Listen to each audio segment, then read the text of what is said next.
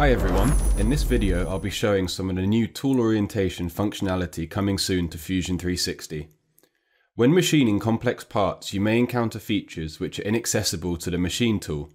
This can be due to the current tool axis orientation and can be highlighted using accessibility analysis. To use the accessibility highlighting, click on the Inspect drop-down button and select Accessibility Analysis. Select the part we are manufacturing and then specify the current direction of our tool orientation. We can see that the area under the rib on this part is shaded in red, which highlights the regions that are not accessible. If we change the machining direction, the accessibility analysis updates to show us the regions that are not accessible from the new orientation. To machine these areas, we need to change the tool's orientation.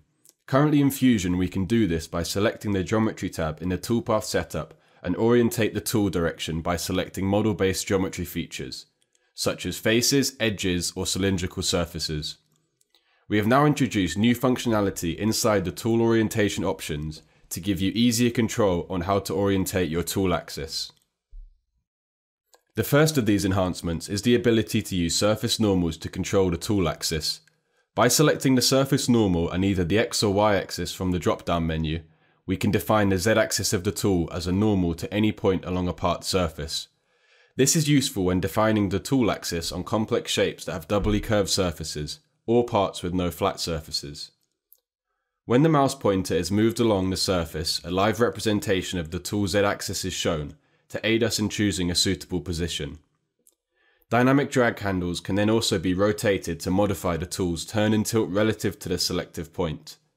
It's worth noting that the surface normal selected is associative to the part, so if the surface is modified in the design workspace, the tool axis will automatically update when the toolpath is recalculated. Another new function inside the tool orientation options is align to view. With align to view, we can quickly align the z-axis of the tool to be normal to your current view by adjusting the turn and tilt values automatically.